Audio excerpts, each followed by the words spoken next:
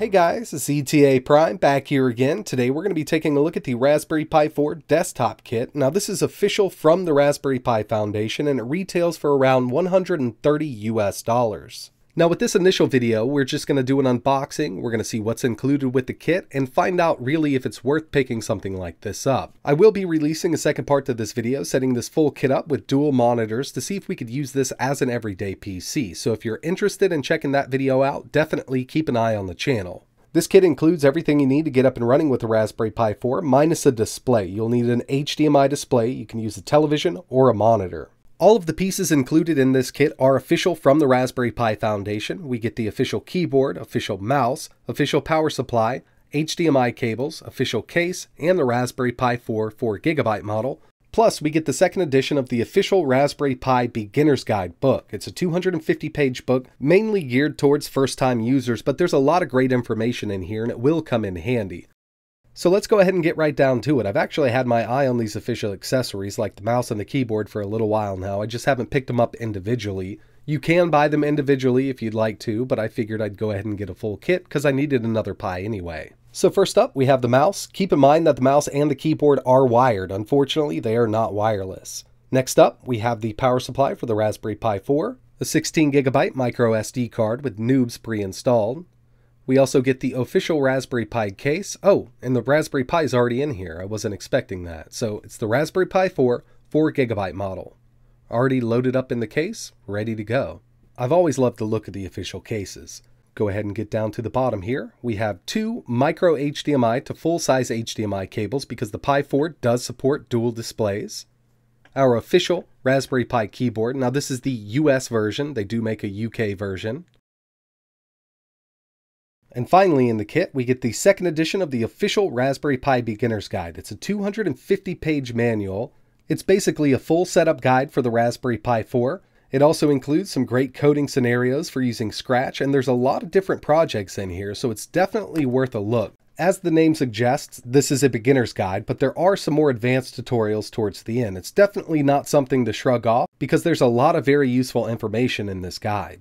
Now the first thing I was interested in was this SD card. It's only 16 gigabytes, but it is preloaded with Noob, so it'll easily get you up and running. And it's actually an official SanDisk Edge A1 card.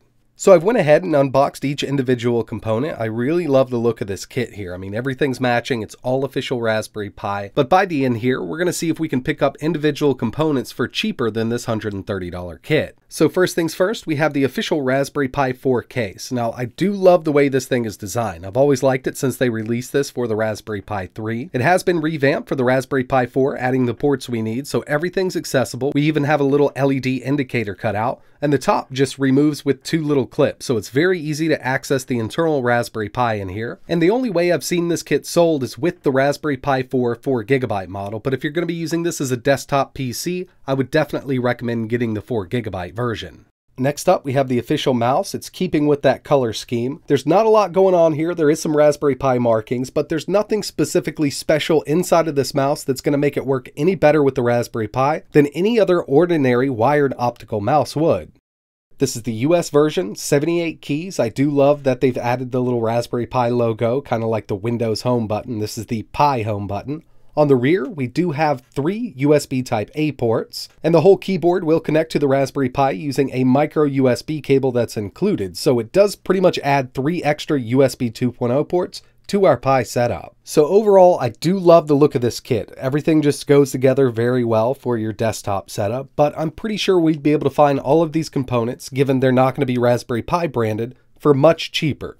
So this kit goes for $129 with free shipping as long as you have Prime on Amazon. There's a couple different ones to choose from. CanaKit has one and they throw in a couple extra heat sinks and a little switch for your power supply. Not a big deal. I mean, these are pretty cheap, but at 129, it does seem a bit high. But if we look up here, CanaKit also has another desktop kit. It does come with the official keyboard and mouse, but they throw in their own case, a fan, heatsink, USB micro SD card reader, and their switch. And you're only going to get one micro HDMI cable. So what I did was just find some of the cheapest parts I could and threw them in my cart to see if we could make this a bit cheaper. And come to find out, we're really not that far off. So I've added the power supply, a cheap case, The Raspberry Pi 4 4GB model. Now we can actually knock $6 off of this. This was the cheapest one I could find on Amazon at the time, but other sites do have them for $55. Keep in mind, it might be the same cost with shipping because we do get free shipping here. A single micro HDMI cable, 16 gigabyte micro SD card, and a wireless M270 keyboard. I actually use this on my main Windows PC. I personally really like these keyboards, and it is wireless, comes with all the batteries we need. Total cost on this, 118.74. Now with this, we're not getting that Raspberry Pi beginner's guide and we're only getting one HDMI cable. But the price isn't as far off as I thought it would be. I figured we could get in the $80 range here. But going from 118 to 129 really isn't a big jump, and you do get the official equipment from the Raspberry Pi Foundation, so I was actually surprised to see that it wasn't that far off at all. So in the end, is this kit worth the price? I personally think it is. If you're just getting started with the Raspberry Pi, this is a great option for you. You can just buy this full kit, use the TV you already have, or get an extra monitor with an HDMI input.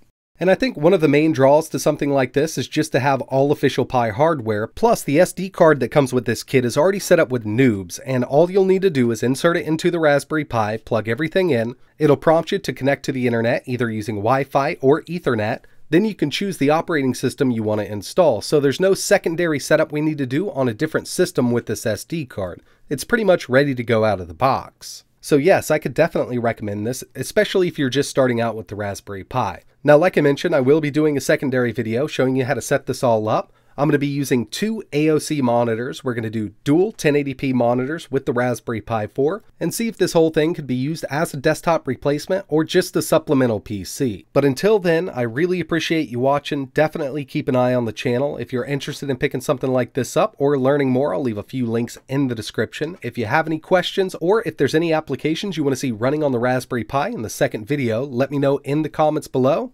But like always, thanks for watching.